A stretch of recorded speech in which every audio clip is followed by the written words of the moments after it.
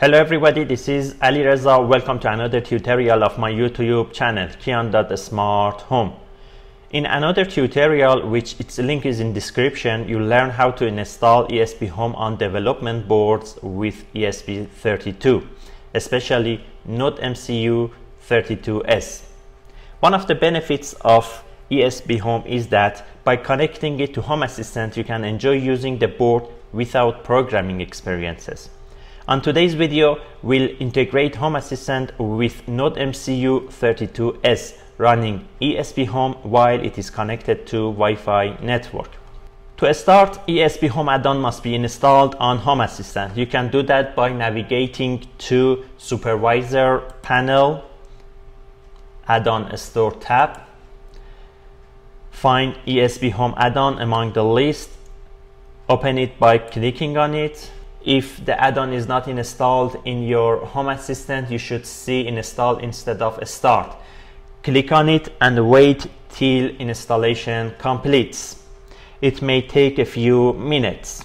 After installation the add-on, click on start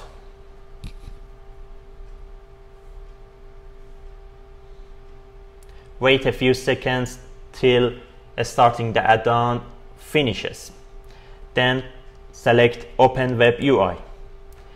If you see 502 bad gateway error, this error, it means that the add-on is not started yet. Wait a few seconds, then refresh the page.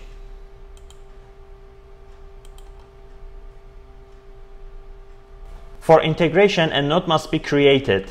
To do that, click on the plus at the bottom right of the screen. In this window that pops up, create configuration, set a name for your node. Naming your node only use lowercase letters, numbers, or dash. Then enter your Wi-Fi credentials so your device can connect to your wireless network.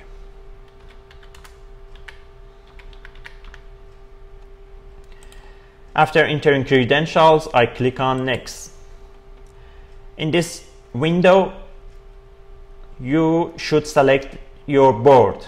Select your ESP device. I select pick a specific board from the drop-down list. I select Node MCU 32S as I mentioned at the beginning of the video. This is my development board. After that, I click on next configuration created, close. After creating the node, a YAML file with a node will be created. By clicking on edit, you can add codes to the file and save it. Then by clicking on install, you can install the edited code on your board. The important part is here. I suggest you set a static IP for your board. You can copy and paste the code from description and set the IP as your network. While entering the codes, you have to be careful. If you enter wrong codes or in a wrong way, the install button here will be disabled.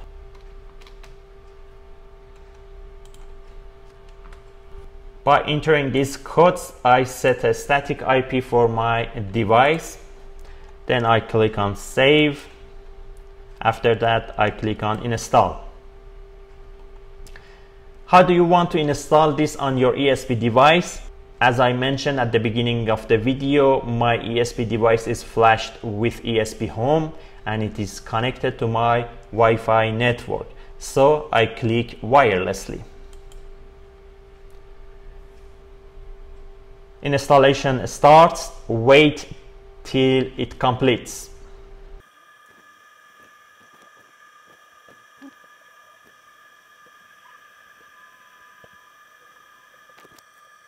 OTA successful, successfully uploaded program. Wi-Fi connection is established. You can see signal strength, the IPs and so forth.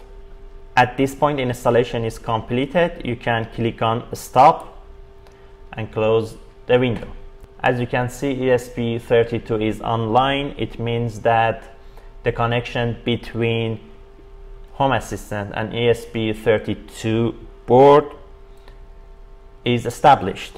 From now on you can add some codes to your file by clicking on edit then adding your desired codes to use the boards as switch or connecting sensors to it then save it and installing it to the board.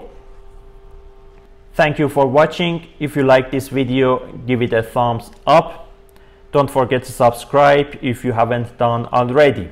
By buying me a coffee you can support me to upload more videos. I'll see you in the next video